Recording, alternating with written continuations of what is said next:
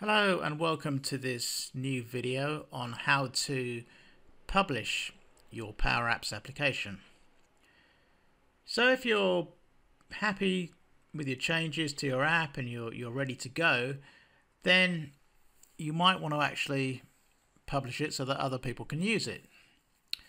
Also keep in mind, um, if you haven't made any changes to it, then it won't ask you to save it. So for example, here, there's no save option showing here. But if I were to, for example, add a new screen, now if I come up here, it's asking me to save it. So at that point, if I save it,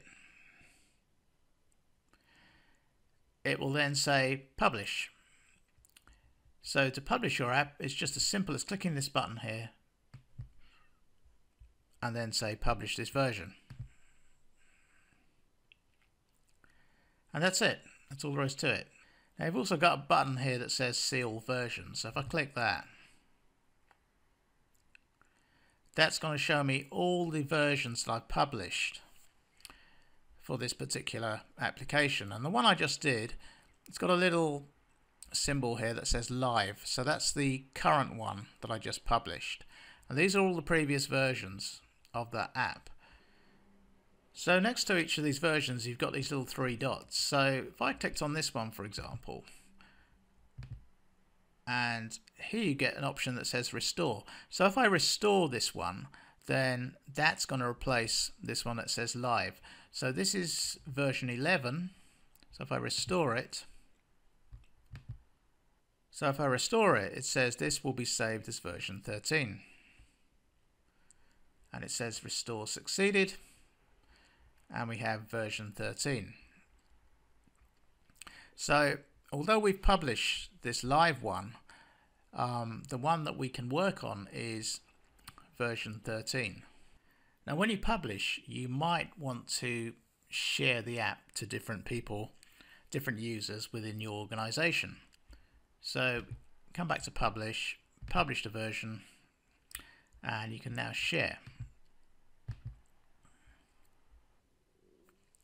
So I'm the owner of this app, so I'm automatically shown there. But if I wanted to add others, I just come up here and type in a name. Now keep in mind all of these people have to have Power Apps accounts and it just lists the connectors in here which they're going to need permission to so you don't need to do anything here really just ignore that you can make them a co-owner and that's going to allow them to edit and share the app but not delete or change owner. But generally, if it's for a user who just wants to view the app and enter data, you just leave things as they are. And then you just click on the share button here, and that shares out the app to the user. And you can add as many users as you want. So I hope that's given you an idea of how to publish your Power Apps application.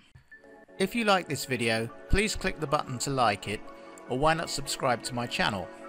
Or you can even download my free Power Apps for Newbies book at www.powerappsfornewbies.com.